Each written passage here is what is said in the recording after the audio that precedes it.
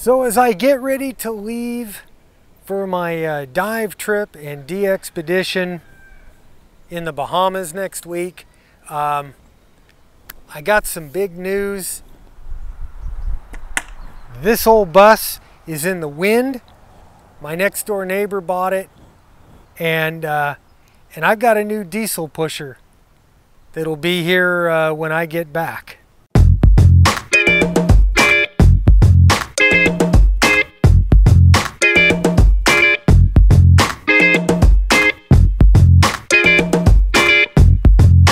So for the last seven years, I've been uh, relying on this old girl here to get me around and I've been doing a lot of operating out of this thing.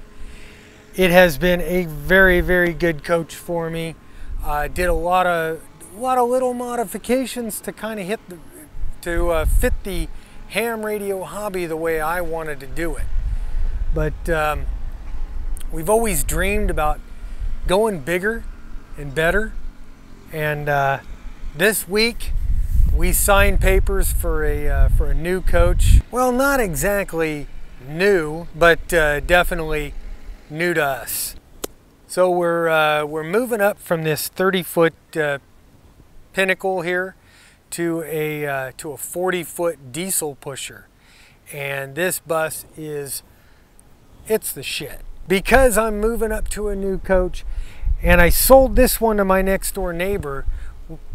He decided he wants to take up the ham radio hobby. So a lot of the modifications that I've got in this one here, I'm gonna leave it in. A lot of uh, a lot of power options, a lot of stuff. I've got uh, I've got a VHF UHF antenna that I mounted up there. That's all going to him because I'm going to help him out. He's going to study up for his uh, technician license here and uh, and get himself into the ham radio hobby. So where does that leave me?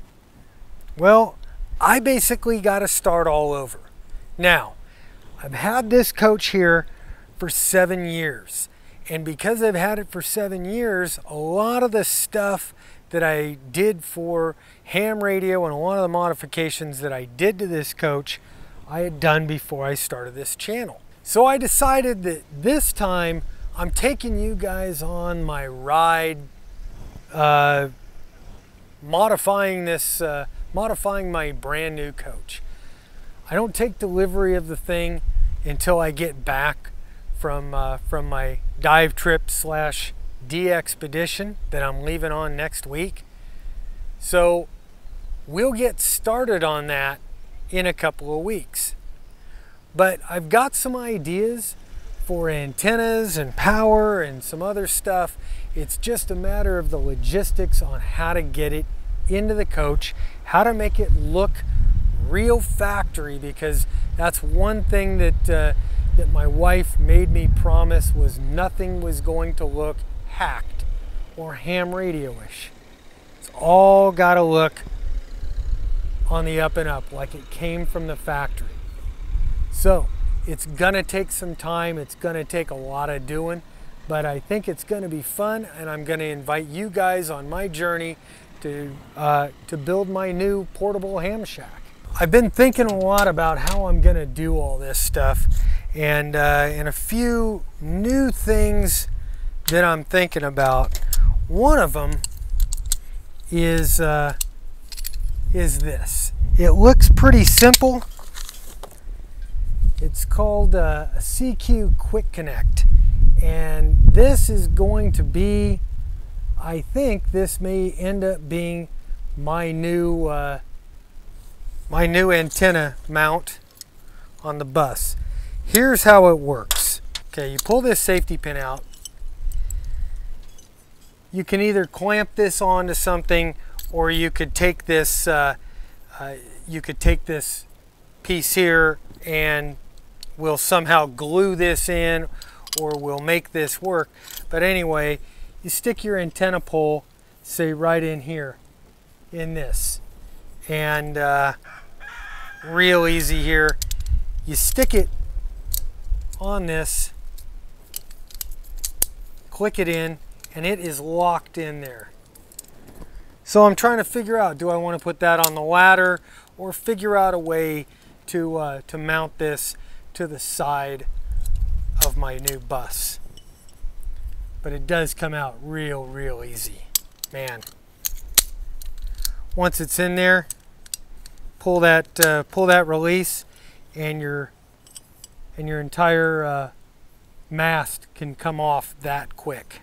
The guys over at Ironworks Design, they sent this to me and uh, I think this actually could be the cool one of the cool things uh, to make a uh, to make a great little antenna mount. All right, guys. So this time it has been a very very short show. Uh, just wanted to fill you in because I am getting ready to uh, to take off. I've got a lot of packing to do. Got a lot of stuff going on here uh, to get ready to go to the Bahamas. I'll be operating on uh, San Salvador Island. I'll bet, uh, bet you haven't made a contact there. Go check. It'll be real limited operation because, uh, you know, mainly I am there to go scuba diving. So that's going to be the main focus of my trip. It is going to be fun. It's going to be scuba diving. We'll be doing a little bit of operating there uh, with my buddy Ty. Uh, W6TJR. I'll be operating as Charlie 6 Alpha Kilo Alpha uh, from San Salvador Island. So look for us 20 meters, maybe some 40 meters there. We're going to bring the KX3 and a few things. It'll be mainly QRP for this trip uh, because most of the stuff that's going with me is all uh, video gear for underwater photography. Oh yeah, and I will be doing an underwater video and a kind of a trip video. It'll be more like a trip vlog with uh, ham radio, scuba diving, uh, sightseeing stuff, I don't know, whatever. Hey, uh, if you like this video, as always, give me the thumbs up. And if you haven't already hit that subscribe button, please hit that subscribe button right now, somewhere in there, and also, please consider me on Patreon. Help me pay the bills to bring you this show on a continuous basis. Anyway, guys, again, for the very last time in the Pinnacle, and uh, we'll be starting up uh, a whole new thing on uh, setting up your motorhome as a ham station in uh, future episodes. I'm Bob. K6UDA, and I'm out of here. 7-3.